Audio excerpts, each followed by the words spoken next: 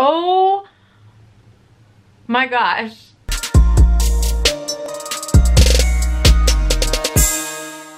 Hey you guys and welcome back to my channel. If you're new here, welcome to my channel. Today I'm actually really excited to film. Um, I am back upstairs in my bedroom in front of my vanity. But yeah, it's been a while since I've done a video like this.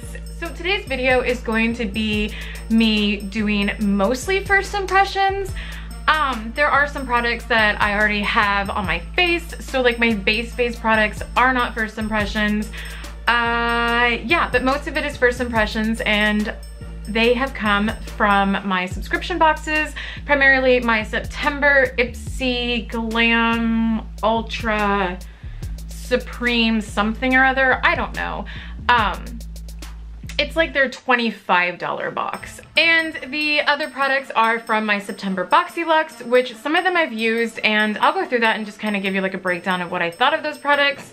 But yeah, let's just get into this because I'm actually running out of time. I have to go pick my kids up from school in less than, oh, I have to be there in less than an hour. So this is gonna be real fast. Okay, so first from my Ipsy Glam think it's the Ipsy Glam Plus is what I got. I recycled the box and I also recycled the pamphlet already because like I said, I opened it and I'm just kind of like, meh, and then got rid of everything. So I don't know how much this stuff costs. If I can find it, I will leave it on the description box down below. I'll actually try to link all the products that I've used.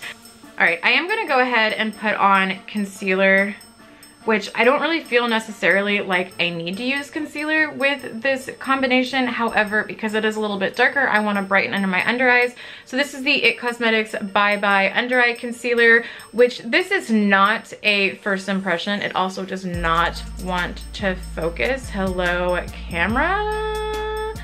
No, but that's okay. It is in the shade Light Fair um, 10.0. It's neutral undertones. I love this stuff. Super freaking thick, but it really conceals. And because I have older skin, I don't feel like it like cakes up and makes all those weird lines and wrinkles. So I'm gonna put this on and then I'm gonna use a new powder.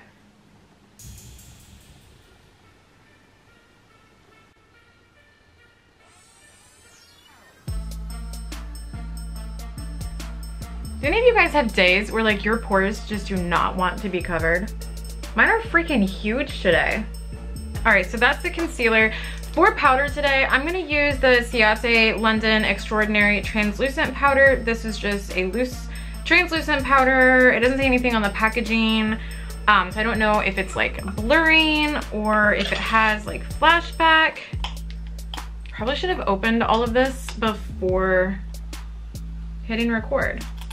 The only thing about this is this is very, very white and usually white powders give me a ton of flashback. So we'll see. However, it doesn't really matter because I don't take a lot of flash photography and I use the Coty Airspun powder most of the time, which has major flashback and I still love it. So whatever, I don't care. Um, I just put a little bit of powder in the lid and I'm just going to set my foundation. Oh, wow. That like really mattified it. I don't know if you guys can see the difference. And it actually really blurred my pores on my chin. Okay, this might be good. Okay, it definitely looks very makeup-y on my nose. Not a fan of how that looks.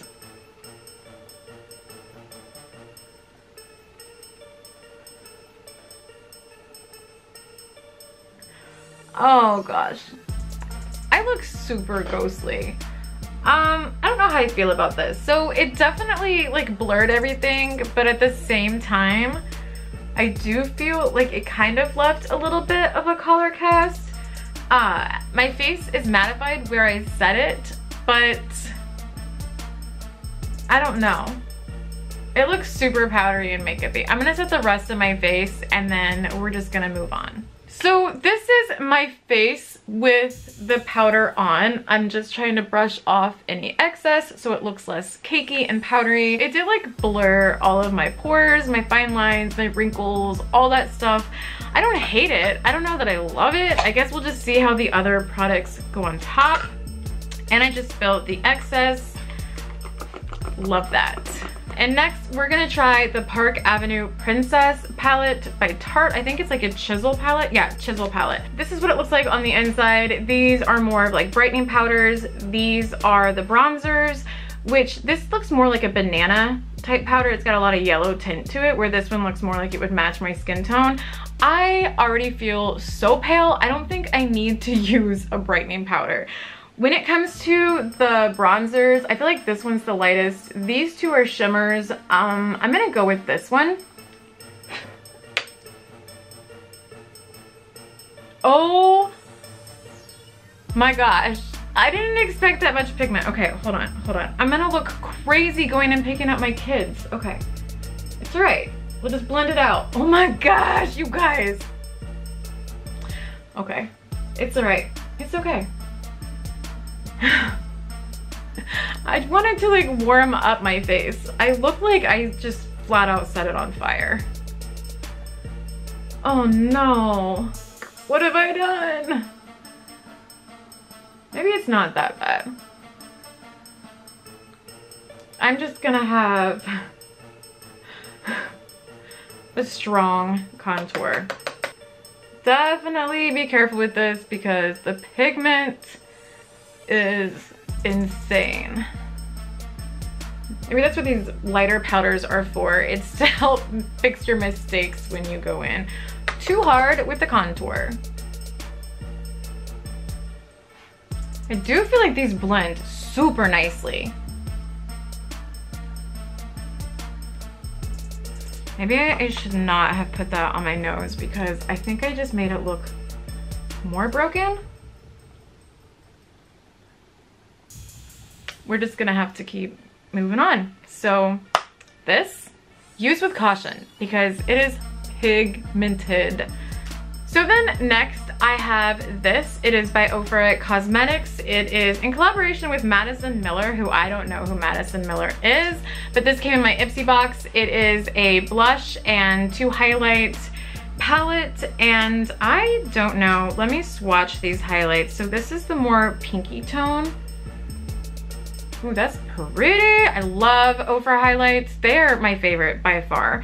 Um, these look a little dark though. So that's the more golden highlight, this one here. They look, they look dark. I definitely think this one is way too dark. That one looks like I might be able to make it work, which honestly, I love a pink highlight anyhow. Then this blush. Okay, it's pretty pigmented too. I actually really like that shade. It looks pinker on my skin than it does in the palette. These don't have any names. Honestly, there's nothing on the back, but let's just try. I'm afraid to use anything now because of how much pigmentation there was.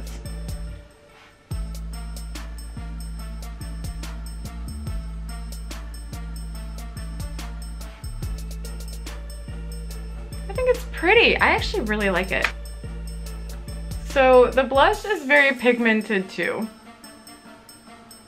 We're just going for a very intense face day. It's okay. It's all right. We're okay. I'm gonna use this pink shade here and hope for the best. That is actually really, really pretty. I really, really like that.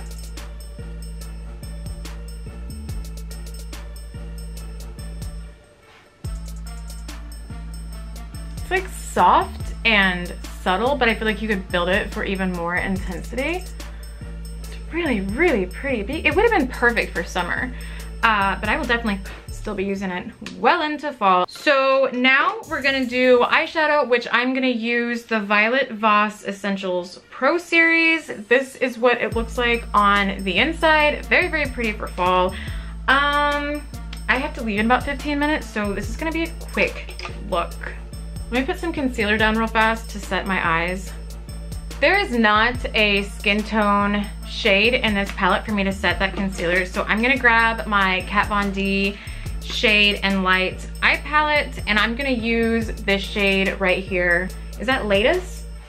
It's either Latest or Ludwin, but I'm gonna use this shade here. Okay, so that's set. I really hope I'm not breaking my makeup as I throw it onto my bed. I'm gonna go in with Dusty Rose, this shade right here. That's gonna be my transition shade. And I'm just gonna grab a fluffy blending brush. Oh, that's got some pigment too. Do you guys see that? Let me bring you guys in for the eyes. Don't judge my face, okay? It's not the best looking right now. This has a lot more pigment than I anticipated. I'm just gonna do the same to the other eye.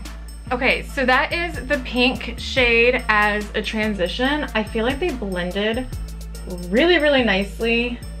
And they would have blended even better if I didn't have all of these stray eyebrow hairs, but I think it looks really, really nice. And I'm gonna grab this cinnamon shade and on camera it looks a lot more red, but I think it's more of like a burgundy-ish shade and I'm just gonna try to deepen that crease a little.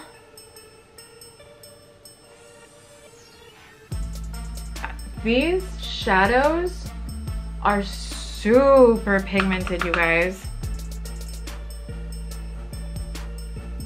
I really like this palette. Hmm. All right, so the next I'm gonna take this. It's just pink. It's one of their metallic shades. And I'm just gonna put that on the lid. I'm first gonna use just like a regular brush. Oh, I'm really running out of time. Ooh. That's super pretty. I am getting a little bit of fallout. Not a lot though. And it could be because I'm really running out of time, so I'm really having to hurry.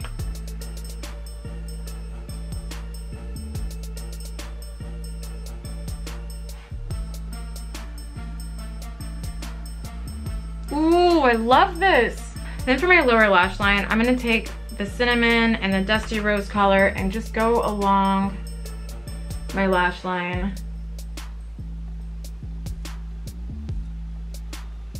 And blend it out. All right, and that is the eye look. That's all I have time for right now. I am gonna take this shade here. It's cream, it's another metallic. I'm gonna use that as an inner corner highlight. That is gorgeous. I was not incredibly inspired by this palette, but I'm gonna have to play with it a ton more because wow, just wow. It's a little bit on my tip of my nose. I'm also gonna use that under my brows. That is gorgeous highlight. So that's the eyeshadow. So next I'm gonna use this Hank and Henry Lickety Black eyeliner. This is what the pen looks like. Okay, so my hand was shaking. It doesn't look the best, but you get a pretty fine line. It doesn't look super pigmented though. And I lied. It has a lot of pigment.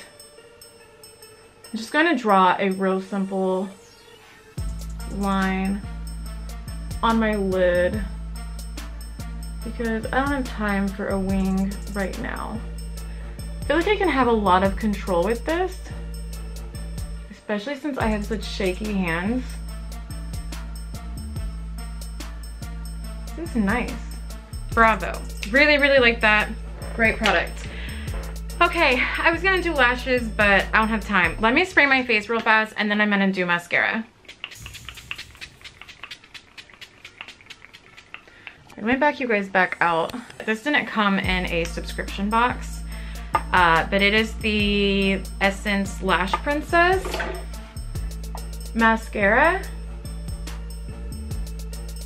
Oh, I didn't tightline or waterline. It's okay. I don't have time. Oh, come on. It looks like I have five lashes. They're all just sticking together and clumping. And I don't think it's the mascara. I think it's, I'm hurrying. So there's my mascara. I don't know how I feel about this mascara. Uh, my lashes are pretty sad already.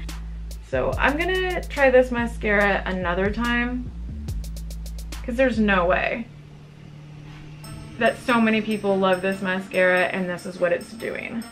My camera died and I don't think I got the footage of me putting on the lipstick, but it is the Stila Stay All Day liquid lipstick. It is in the shade Rubino. Of course, it doesn't want to focus. yeah, it still does not want to focus. But that's okay. It's in the shade Rubino. I feel like it's kind of a berryish brick red, if that makes any sense. It looks nice. It does kind of like turn into kind of like a magenta-y pink on the outside of it, but I like it. It's pretty good. But yeah, you guys, this is the final look. Let me know what you guys think below. I actually really do like it. I like the pinks and the reds. I do think this looks pretty fallish.